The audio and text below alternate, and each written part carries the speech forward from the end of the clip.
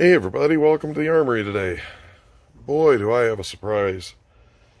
So, I got a package in the mail, of course to my local FFL, and this is the first piece that I unwrapped. And if you would remember, this is the P14 Drill and Parade Rifle. And man, that barrel must have been stuck on there because you can see they had to machine a groove up to the the receiver to try to loosen it. But here you can see the plug that they welded into the chamber and you can even see down in there you can see the plug. Yeah pretty interesting.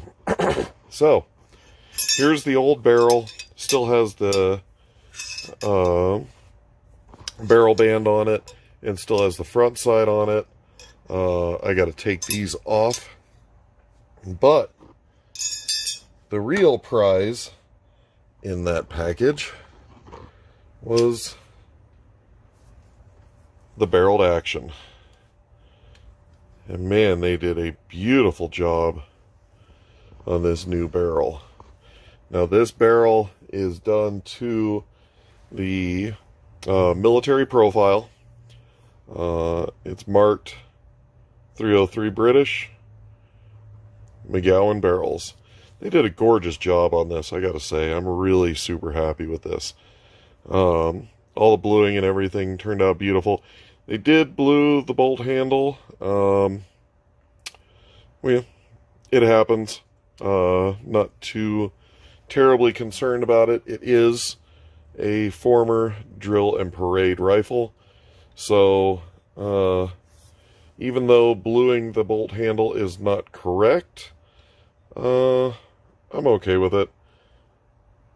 It looks really fantastic. So, let's look at the stock that I've got for this. Now, the original stock looked to be in good condition, but as it was stripped down, there were a lot of really bad cracks, and the wood was shrinking and deteriorating, so I went and found another really good, again, drill and parade rifle stock that is nice and solid.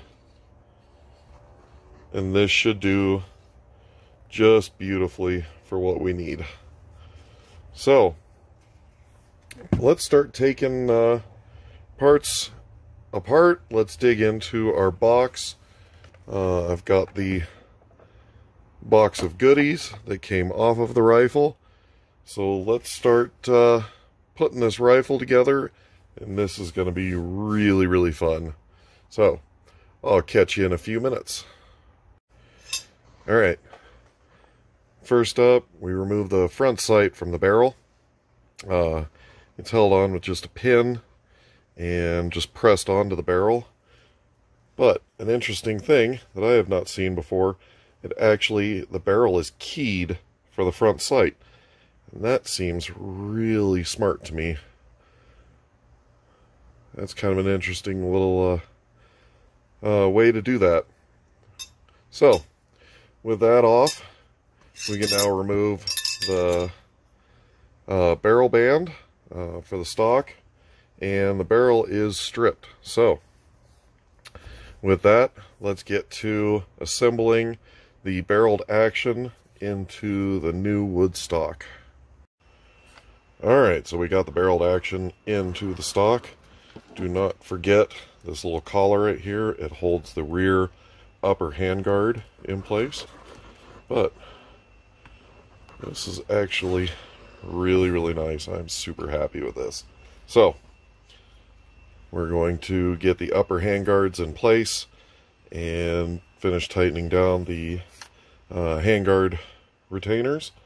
And I think we're getting really close to being done with this. So let me get the upper handguards ready and we'll see what that looks like. All right, I got the upper handguards on. And I got to tell you, this rifle is looking beautiful.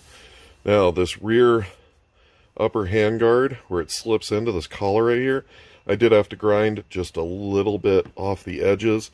Um, the handguard was a little bit bigger than the uh, than the collar it slips into, but a little bit of grinding and she slipped right in. And I got to tell you, this is absolutely fantastic. I really love the old distressed rustic look of uh, World War One and World War Two rifle stocks. I mean, these really been there and done that rifles.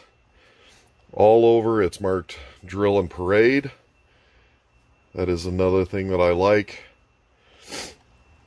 I really like rescuing these old rifles.